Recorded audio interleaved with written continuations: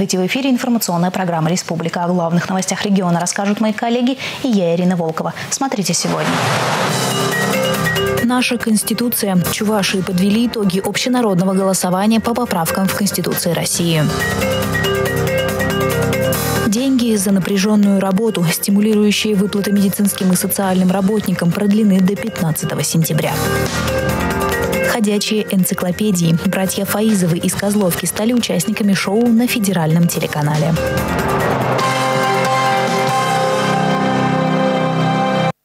Главная новость дня – итоги общенародного голосования по поправкам в Конституции России. Явка, количество голосов за и против нарушения или их отсутствие – все это обсуждалось с раннего утра. Предварительные итоги после обработки всех протоколов участковых комиссий ранним утром озвучил председатель Центра избиркома республики.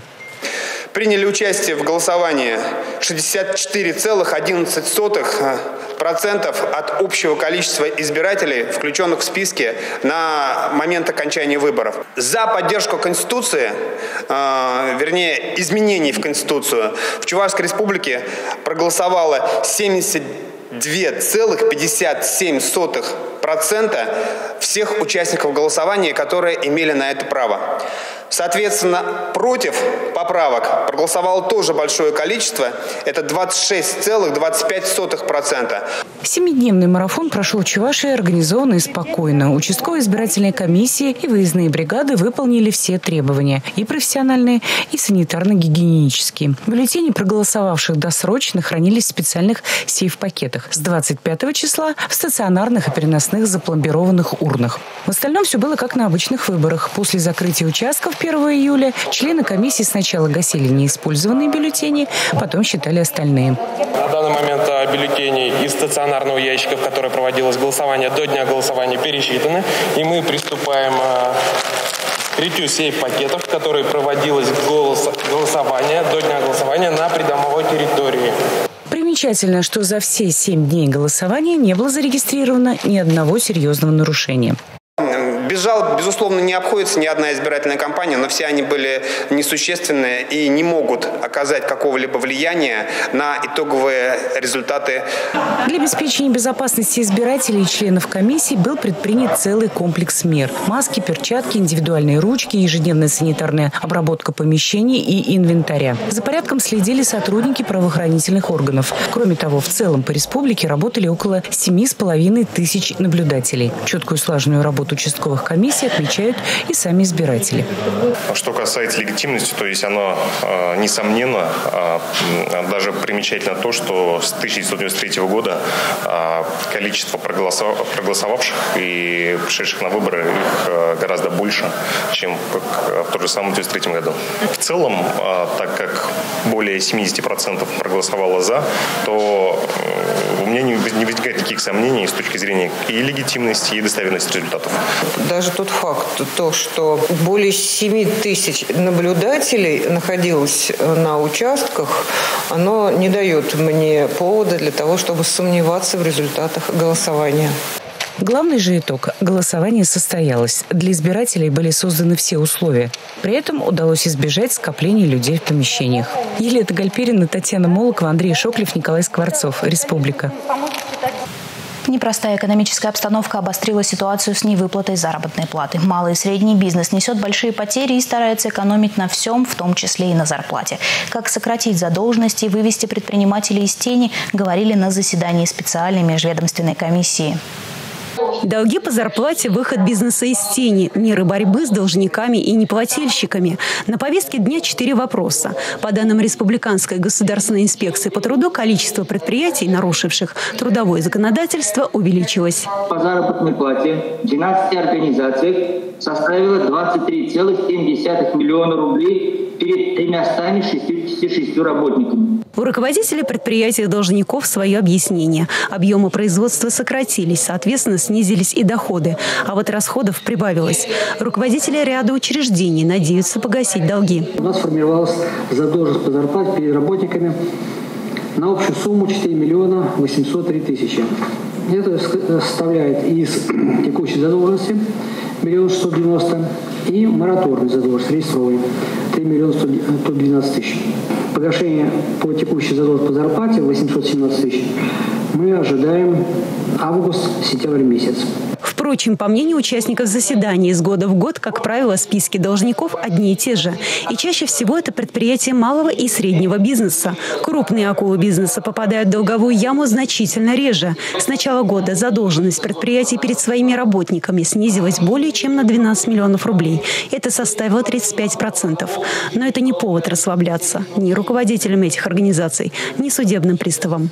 По состоянию на 1 июня 2020 года на исполнении находилось 4168 исполнительных производств в отношении 64 должников. Управлением вынесено 514 постановлений об обращении взыскания на денежные средства должника, находящиеся в банке, 15 постановлений о запрете на регистрационные действия в отношении транспортных средств, Два постановления о запрете на совершение действий по регистрации в отношении недвижимого имущества. Большую работу по защите прав граждан проводит и прокуратура республики. На заседании обсудили вопрос отсутствия мотивации у людей на поиски работы. К примеру, строительной отрасли немало вакантных мест, но по каким-то причинам туда не спешат трудоустроиться. На некоторые специальности обязательный медосмотр, а его пока не проводят.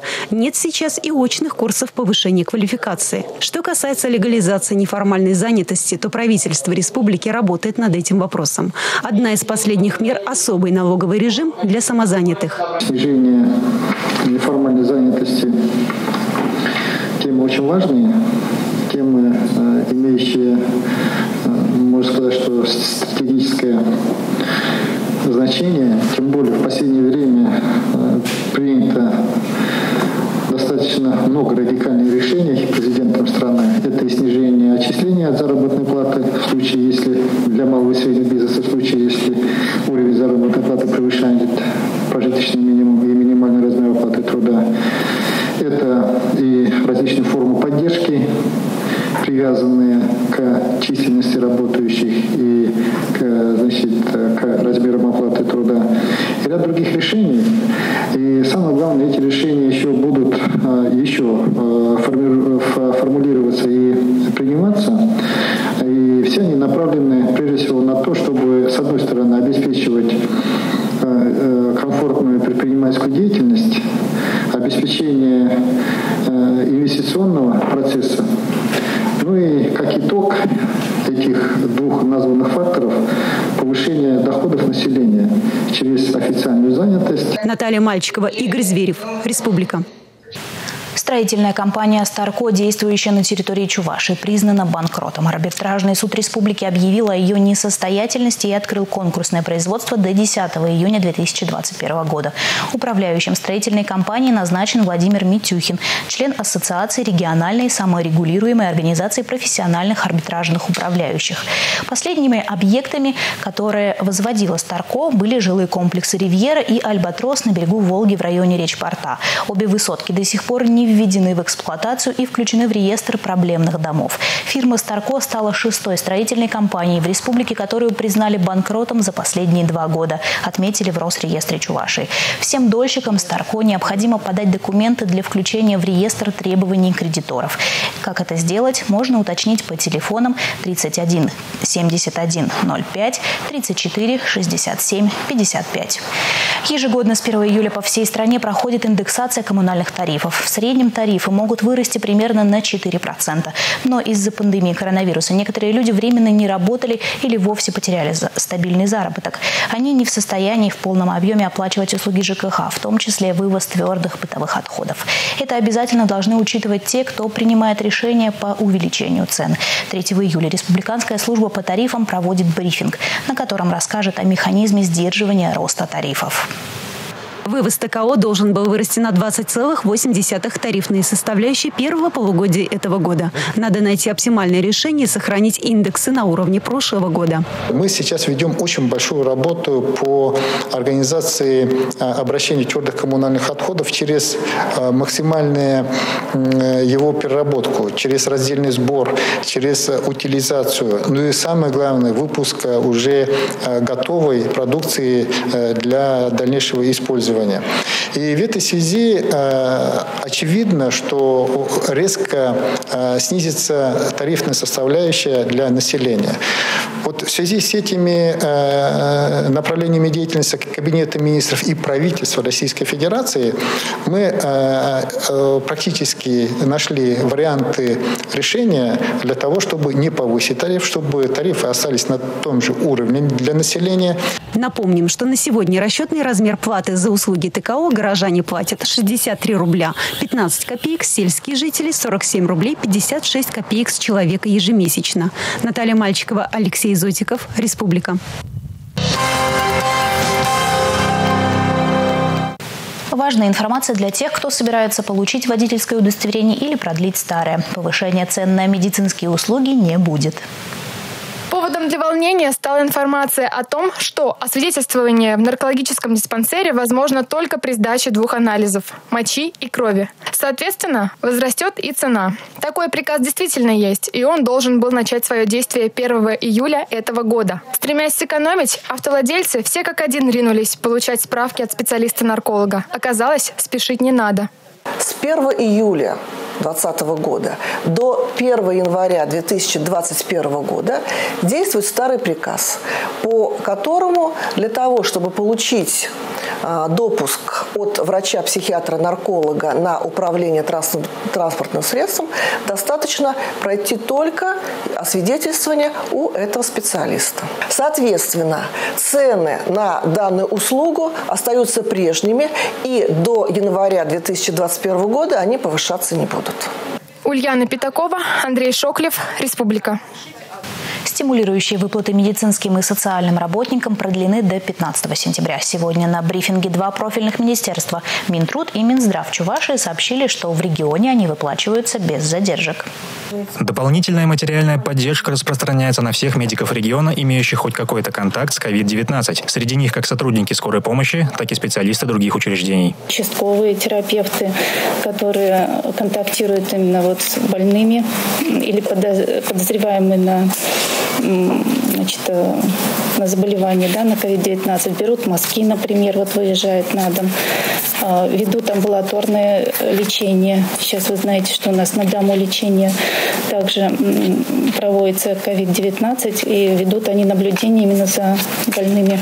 За прошедшие 4 месяца медикам в республике выплачено 365 миллионов рублей. Аналогичные выплаты получают и работники социальных организаций. Многие перешли на вахтовый метод работы. По две недели без контакта с внешним миром. Потом две недели карантин. По итогам пяти прошедших смен стимулирующие выплаты произвели на общую сумму около 55 миллионов рублей. Эти надбавки не будут облагаться налогом. Также в период пандемии дополнительная поддержка оказывается и социально уязвимым категориям населения.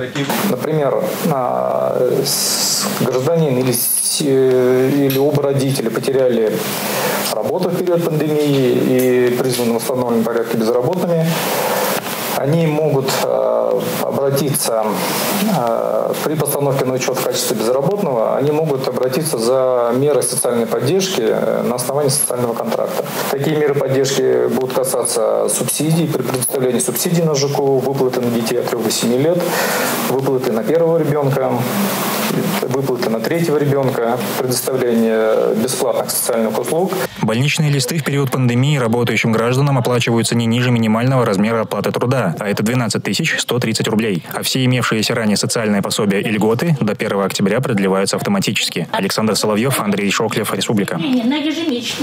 Сегодня в Новоюжном районе Чебоксар на улице Ленинского комсомола после реконструкции открылась поликлиника. Она изменилась снаружи и внутри, увеличилась по площади и функционалу. Сразу после знакомства с ней временно исполняющий обязанности главы Чувашии провел совещание по вопросам развития здравоохранения в республике.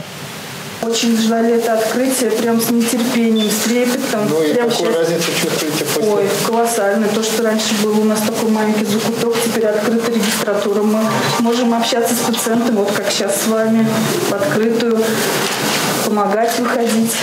Поликлиника номер три – подразделение городской клинической больницы. Раньше здесь работали только три кабинета, остальные площади занимало некое предприятие. За помощью уже обращались более 20 тысяч человек. Было сложно и лечить, и работать. В обновленном здании появились дополнительные кабинеты для врачей, процедурный кабинет и дневной стационар. Татьяна Жучкова, молодой специалист, работает здесь с сентября прошлого года. Говорит, что очень рада преображению. Надеюсь, наша новая поликлиника в новой цветовой гамме понравится пациентам, так как желтый и зеленый цвет э, благоприятно влияют на эмоциональный фон как и медицинских сотрудников, так и наших пациентов. Поликлинику планируют дооснастить современным оборудованием, а на втором этаже открыть кабинеты узких специалистов. Так жители микрорайона получат в шаговой доступности качественную первичную медпомощь. Клиника э, замечательная. Вот э, это как раз, э, на мой взгляд, э, э, лучшая практика, как сейчас принято говорить, когда э, используются бюджетные средства для того, чтобы создать комфортные, удобные,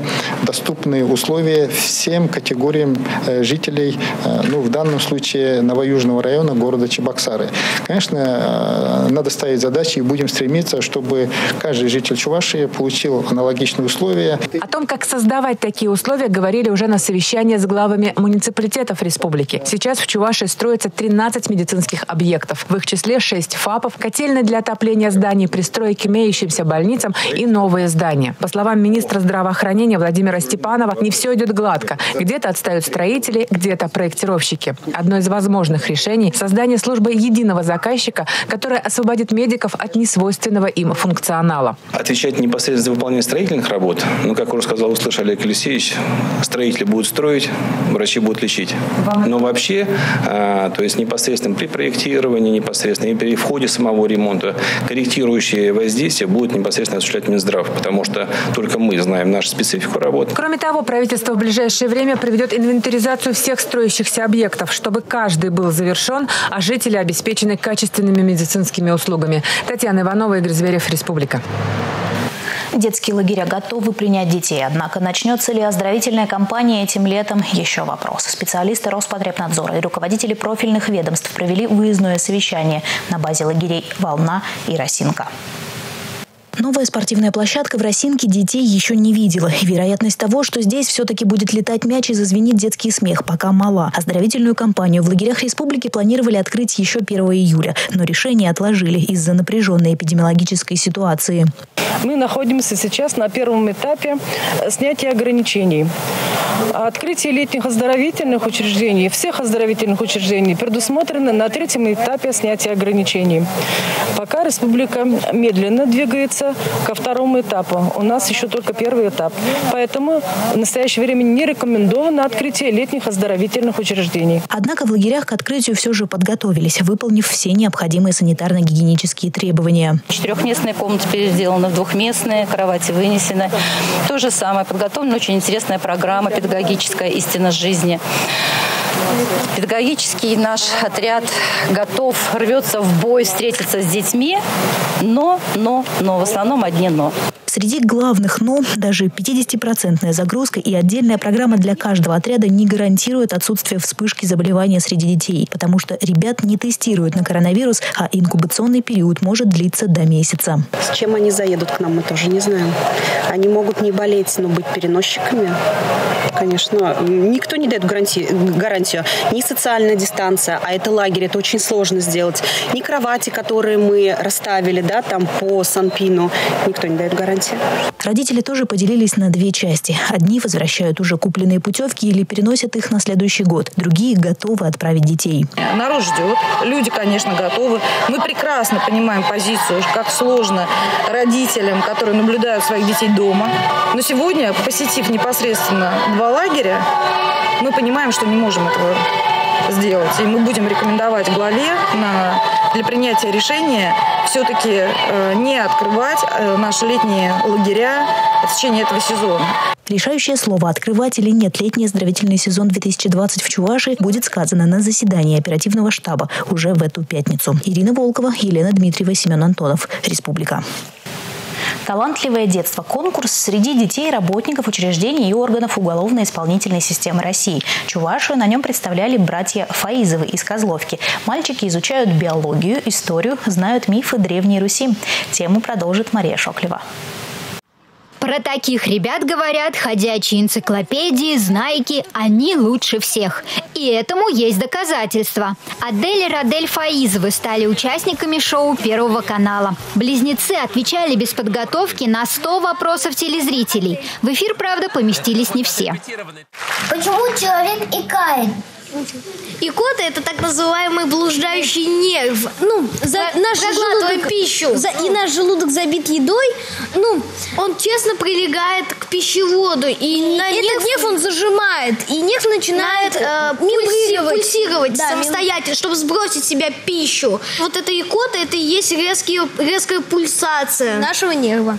Очки для юных ученых изготовили специально для съемки. Теперь они хранятся дома, рядом с очками-микроскопами. Последние помогают изучать муравьев, жуков, крабов, мокриц, тараканов. Живности в доме близнецов всегда много. Здесь у меня живут креветки черри. Их так называют из окрасов. Это мох, они очень его любят. У них там и детский сад, и роддом, и где полинять, и где попрятаться просто. Э, с рыбами нежелательно, но у меня их мало, они не конфликтуют. Извини, перебью, а зачем тебе все это надо? Интересно как бы интересно наблюдать за своим собственным прудом. А еще ночью очень э, все выходят искать и, и еду, ставишь фонарик, который я купил, и просто красиво. Вот так на практике информация и запоминается. Но есть еще один секрет. У мальчиков нет смартфонов. Они не пользуются социальными сетями и не играют в игры. Бывало такое, что приходили со школы, были такие моменты, и вот говорили, что мам, вот там дети говорят про различные игры, а мы даже в этом ничего не понимаем. Но я им просто объяснила, что человек должен быть богатым внутренним миром. От того, что ты не знаешь, там, как эта игра называется, да, или какого-то персонажа в этой игре, ну, ничего не изменится в жизни, а то, что если ты для себя познаешь много чего интересного, и оно тебе в дальнейшем пригодится твоей учебе, в твоей, в твоей дальнейшей жизни, это намного ценно. О своих увлечениях, в перечень которых входит и нумизматика, близнецы готовы рассказывать часами. Взрослые признаются, порой думаешь, какой задать вопрос, чтобы ответ покороче был. А в школе после общения с близнецами родилась примета. Если кто-то из друзей отгадает их правильно, кто есть кто, Адель или Радель. Угадал? Точно пять или там что-то еще. Если не угадал, жди беды. Адель, да? Да. Ой, я правильно. Мы угадали, и съемка прошла хорошо. И клубнику на обзорной площадке «Птичий полет» нашли, и идеи нового шоу с Аделем и Раделем для национального телевидения Чувашии придумали. Мария Шоклева, Андрей Шоклев, Республика. В республике стартует серия шахматных онлайн-турниров. Ее запускает Шахматная федерация Чувашии с 5 по 26 июля. Раз в неделю по воскресеньям шахматисты будут сражаться на онлайн-площадке lichess.org. Приглашают всех желающих. Для участия необходимо зарегистрироваться на площадке и вступить в клуб Шахматной федерации Чувашской республики. Состязания за интерактивной шахматной доской пройдут среди взрослых и детей до 14 лет. Как вылечить зубы и десны, восстановить целый зубной ряд всего за один прием и исправить прикус, вы узнаете прямо сейчас. А я с вами прощаюсь. До завтра оперативно, качественно, эффективно, а главное в атмосфере полного психологического комфорта. Врачи стоматологической клиники «Дентамед» берутся за решение самых уникальных случаев. Диагностика, лечение, имплантация, эстетическое протезирование и реставрация зубов. При всех видах помощи результат всегда один – красивая улыбка пациента. Мы оказываем весь стоматологический спектр помощи в одном месте. Мы освоили и внедрили самые передовые инновационные мировые технологии. Мы предлагаем своим пациентам только самое качественное и безопасное лечение. Чтобы результат был эффективным, важно своевременно посещать стоматолога. Врачи рекомендуют не терпеть боль и не тянуть время. На помощь придут инновационные технологии. У нас свой каткам-центр и хорошая диагностика. Ведь, чтобы оказать качественную помощь, нужна хорошая диагностика. Ну и, конечно, у нас есть своя учебная академия стоматологического мастерства, где мы обучаем и готовим будущих специалистов. Более чем за 15 лет работы их пациентами стали целые семьи. Опытные врачи нашли подход и к маленьким пациентам. Цифровой клинико-диагностический центр позволяет проводить максимально информативные и точные обследования, чтобы облегчить лечение. Аппарат э, диагнокам, который позволяет за счет свечения, там трансиллюминация происходит, свечение, просвечивается зуб, и без рентгеновского излучения мы можем выявить э, очаги на самых ранних стадиях. Компьютерная томография позволяет э, оценить состояние не только зубов, но также состояние костной ткани, окружающие зубы. Сегодня каткам для стоматолога – это окно в мир цифровых технологий, а для пациента – в мир красивых улыбок.